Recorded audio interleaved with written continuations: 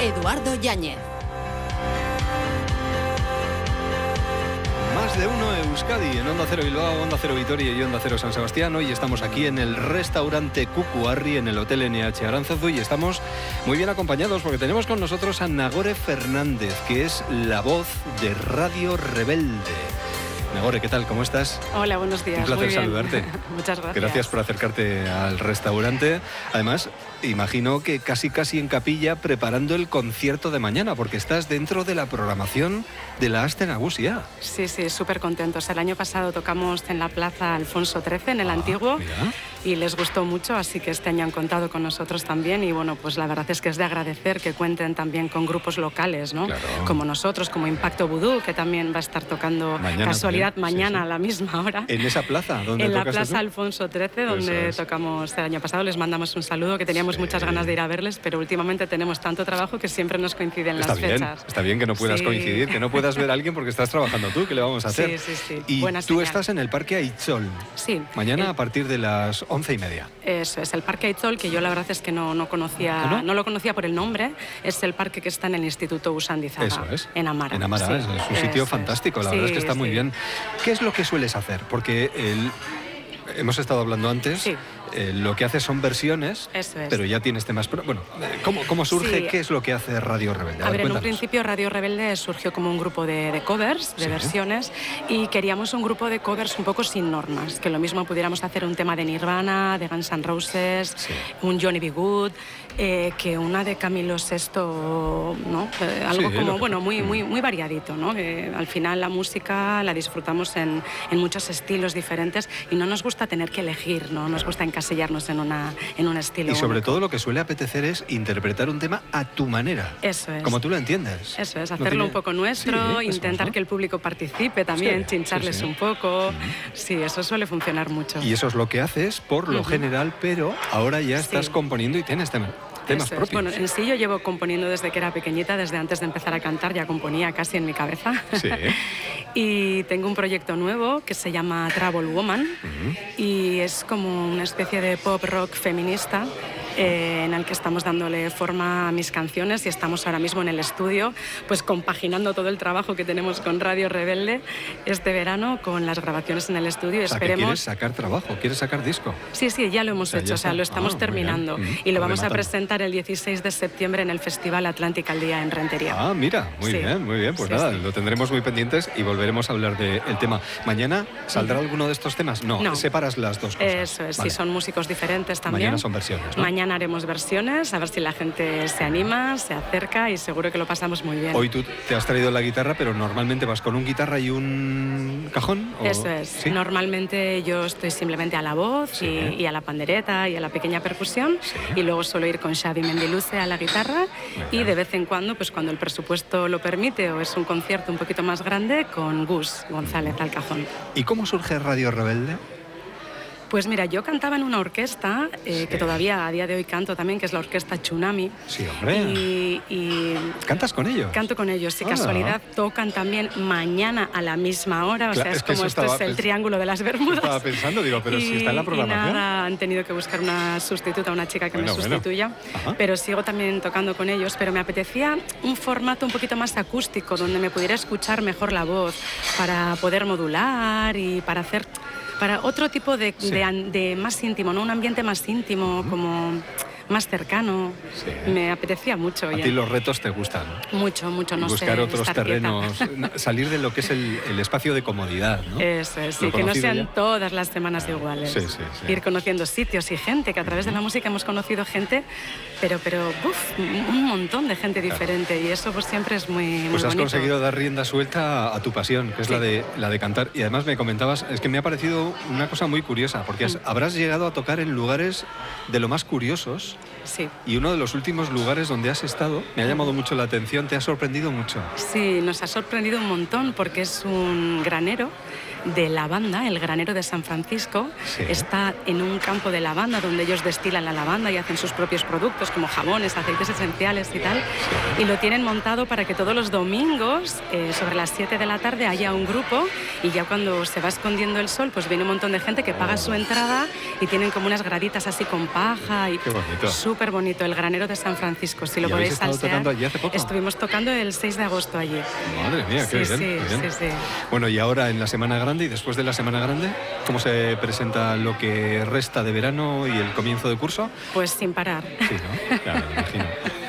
Sí, vamos a tocar en el Faro de Iger, también en Irún, en un bar que se llama Sardía y bueno, en un montón de sitios diferentes. eso es lo bonito. ¿Te gustan los locales pequeños, tener al público cerca? Mucho. Hace poco, por ejemplo, tocamos en fiestas de Mendaro, que fue una pasada porque teníamos un escenario gigante, eh, como casi casi como los de Sagües, y fue increíble y estuvo muy muy bien, ¿eh? no tenemos ninguna queja.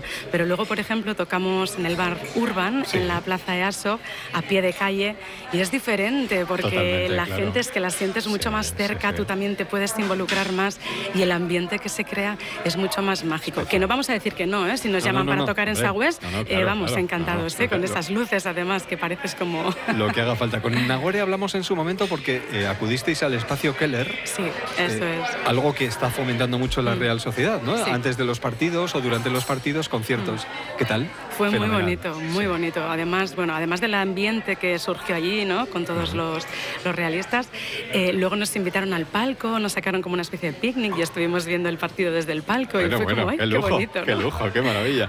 Bueno, como te has traído la guitarra, sí. una pequeña demostración de lo que pueden escuchar mañana, si te apetece, ¿eh? Yo, claro, tampoco te quiero...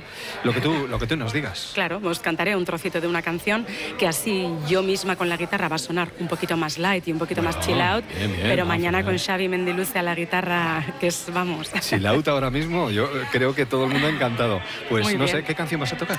Pues voy a cantar Moriría por vos, de Amaral. A ver si os gusta. Eh, que está de actualidad. Sí. Estos días. De sí, está de actualidad también por ese em, aspecto feminista ¿no? y reivindicativo que le dio al concierto. Por el concierto de Sonorama y por la reivindicación final, sí, la verdad es que sí. Pues adelante. Pues por ella va, y por todas las feministas. Adelante.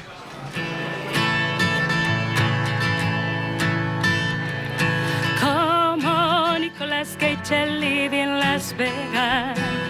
Veo caer la nieve en la hierba. Un Robinson en una isla desierta. Como Nicolas Cage en Semana Grande. Voy a ir a ver a Radio Rebelde. En el Parque Aitor en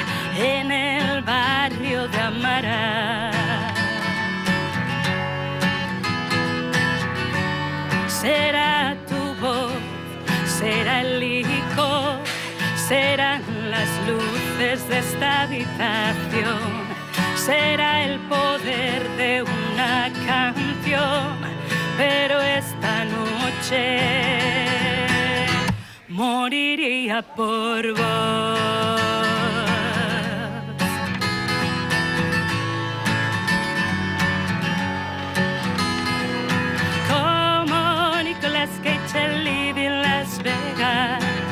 No tengo planes más allá de esta cena. Es un misterio hacia donde la noche nos lleva. Como Nicolas Cage en Las Vegas. Vamos, mi niño, a perder la cabeza. Como si fuera nuestro último día en la tierra.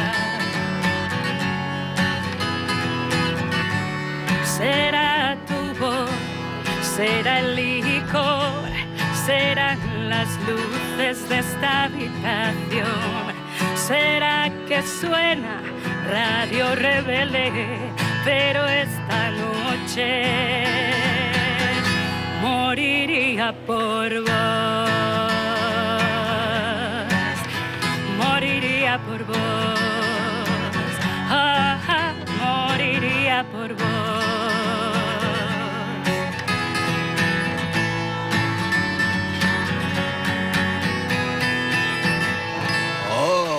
bonito, qué bonito. Muchas sí, gracias. señor, sí, señor.